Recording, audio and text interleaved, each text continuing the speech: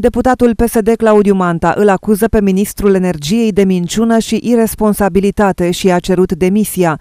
Parlamentarul de Gorj susține că Virgil Popescu este principalul responsabil pentru situația de la complexul energetic Oltenia. De-am subliniat acest aspect, faptul că este nevoie de investiții în carierele miniere, este nevoie de îmbunătățirea condițiilor de muncă, este nevoie de restructurarea, de renegocierea planului de restructurare la complexul energetic Oltenia, toate acestea sunt lucruri majore pe care le-am cerut ministrului și uh, pe, pe care ministrul energiei din păcate nu le-a făcut, iar acum vedem consecințele inacțiunilor dumnealui.